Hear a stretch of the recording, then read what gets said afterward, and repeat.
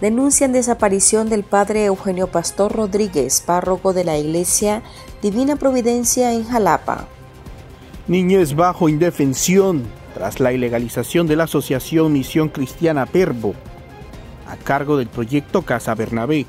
Y el delantero del Real Madrid, Vinicius Jr., denuncia racismo en la liga. Políticos y deportistas condenan dichos actos en contra del futbolista brasileño. Bienvenidos al podcast ahora de Artículo 66. Les saluda Marlin Balmaceda. Y Slish Vía Chica Noel Pérez Miranda da inicio con las principales noticias de este lunes, 22 de mayo del 2023. ¿Dónde está el padre Eugenio Pastor Rodríguez? Esa es la pregunta que se hacen desde la noche del sábado 20 de mayo pobladores de las Segovias. El domingo, la noticia cobró más relevancia.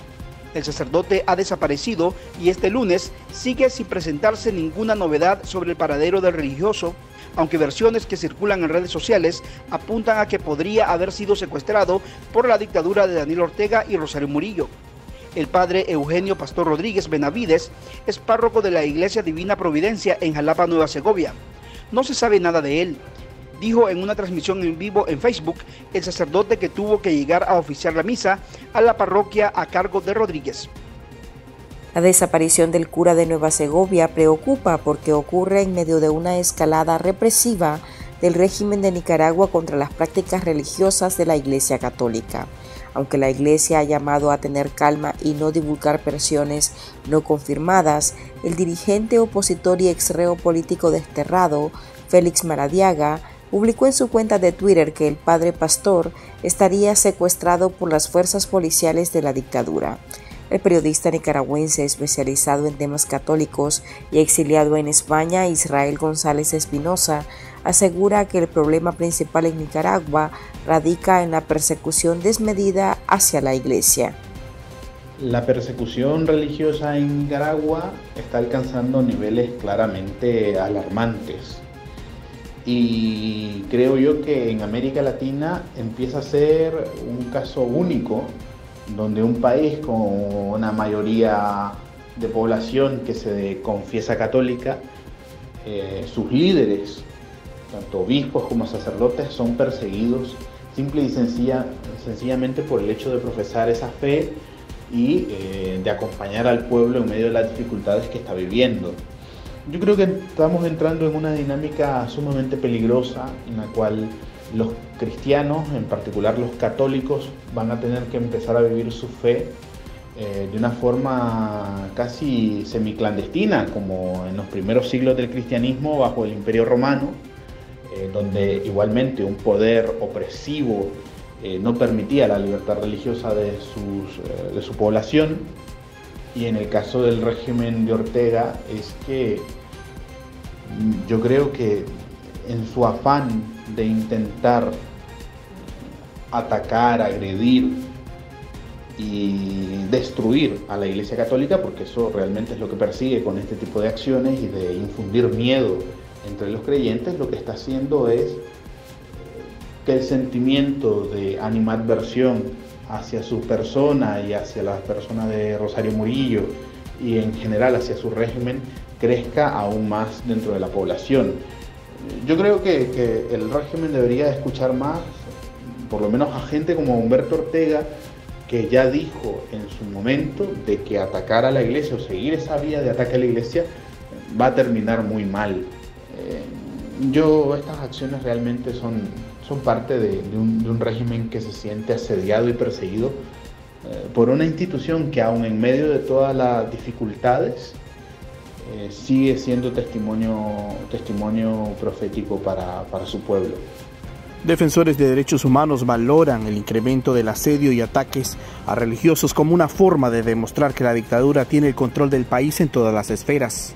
Esta persecución se ha visto caracterizada por las prohibiciones masivas a las celebraciones religiosas, particularmente de Semana Santa en este 2023, en donde esta tradición eh, de, generaciones que, ha, sido, que ha tenido el pueblo de Nicaragua ha sido impedida por las diferentes amenazas que agentes policiales eh, se dedicaron a, diseminar en todo el territorio nacional en contra de eh, líderes religiosos y en contra de la población.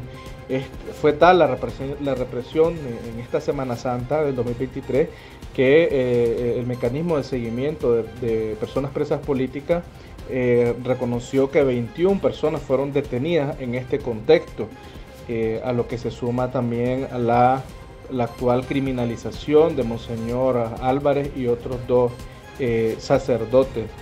Cabe señalar que esta persecución ha, sido también, ha incluido la cancelación de organizaciones de sociedad civil eh, católicas eh, y, a las que se suman también organizaciones evangélicas.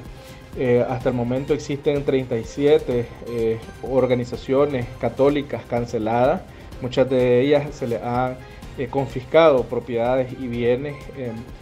cabe señalar que esta este número de organizaciones puede ser eh, mayor, eh, definitivamente es mayor por cuanto existen también organizaciones eh, católicas que decidieron de forma, entre comillas, voluntaria disolver su personalidad, personalidad jurídica.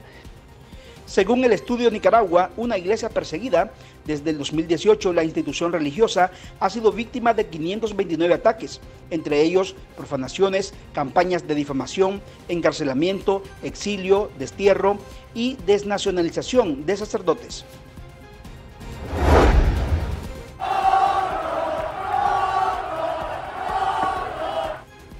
Estos son algunos de los insultos que salieron de la gradería de Mestalla contra el futbolista Vinicius Jr.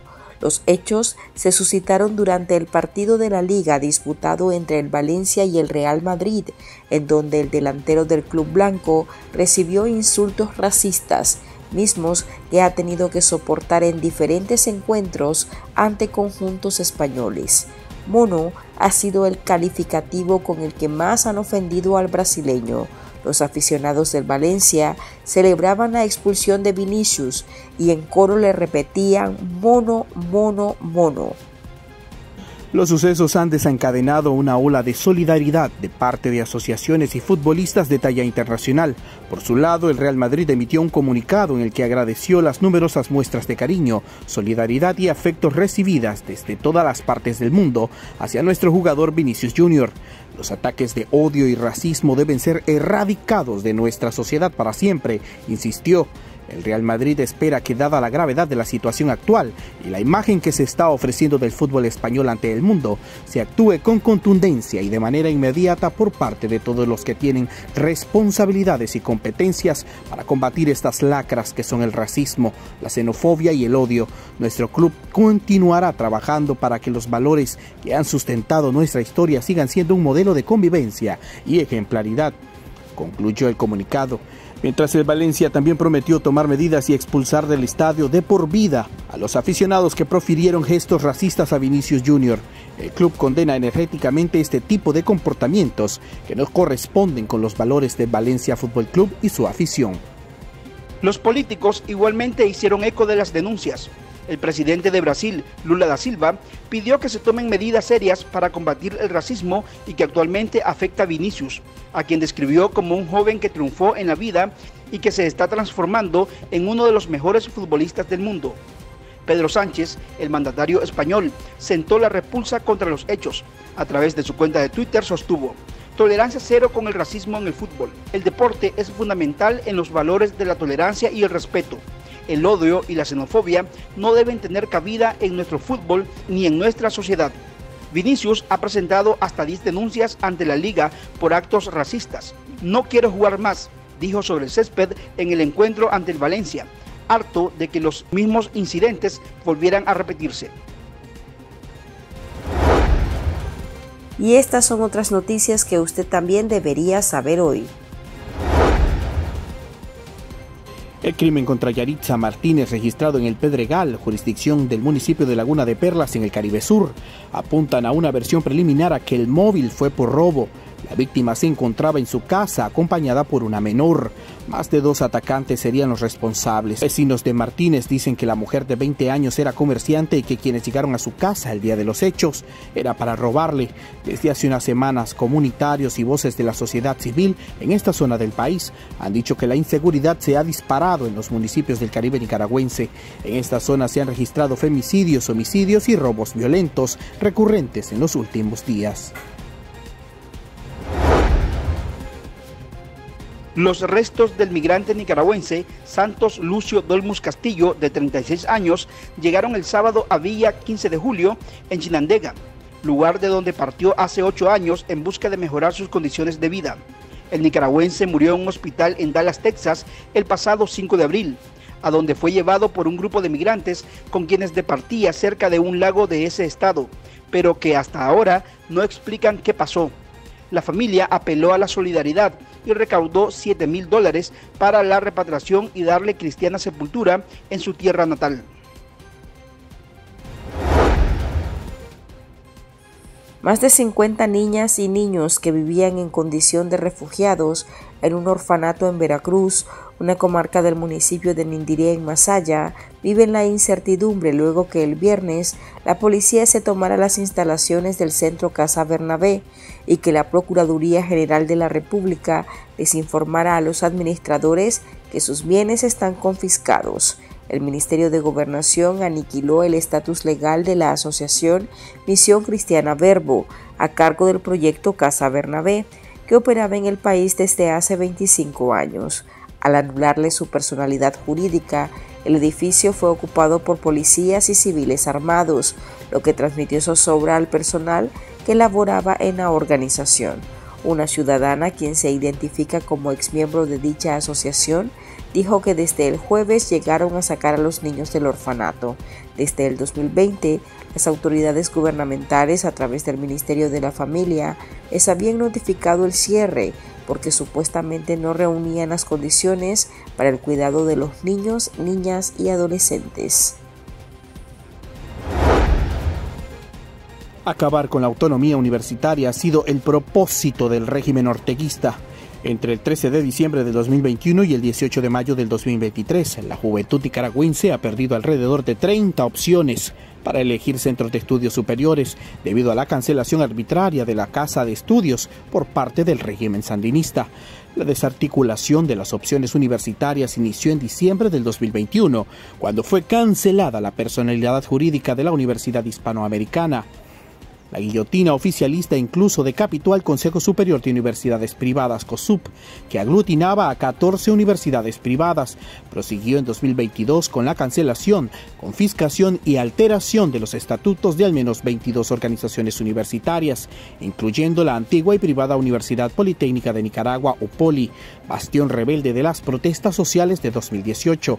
Luego siguieron con la anulación y confiscación de bienes a la Universidad Popular de Nicaragua, la Universidad Universidad de Estudios Humanistas, Universidad Paulo Freire y otras. Aquí termina el episodio de este lunes. Recuerde que esta y otras noticias usted las puede leer en nuestra web www.articulo66.com. Hasta la próxima. También pueden suscribirse a nuestro podcast en Spotify y seguirnos en las redes sociales como Artículo 66 y en Twitter arroba Artículo 66 Nica. Hasta la próxima.